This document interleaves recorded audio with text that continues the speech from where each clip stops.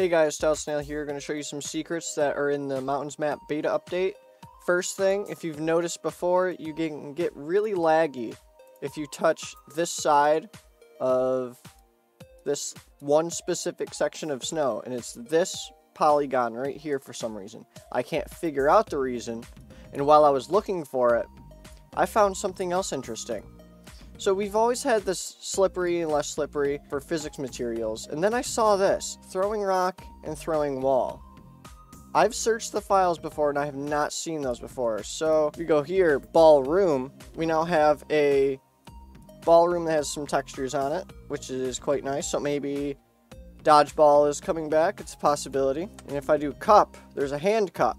And I believe this is new as well. But that's not the main thing I want to talk about. I want to talk about these heads up here. So, there are a bunch of these heads. People are saying three because of these, people are saying six, but there's actually way more than that. If I come down here a little bit, you can see head model one. That's that one right there. And then you have head model two, which is one over here.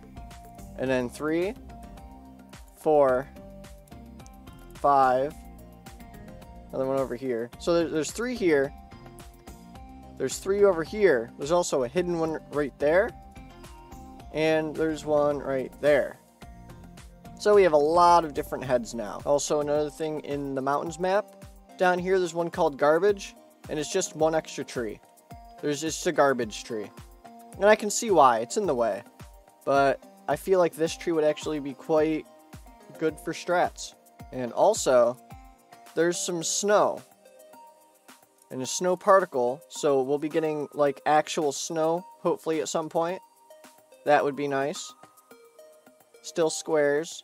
I am super excited for whenever any of this comes into the map because snow in the mountains map would be amazing. But that's about it. Thank you guys for watching. Hope you enjoyed. Subscribe, join the Discord down below, and that's all. Goodbye.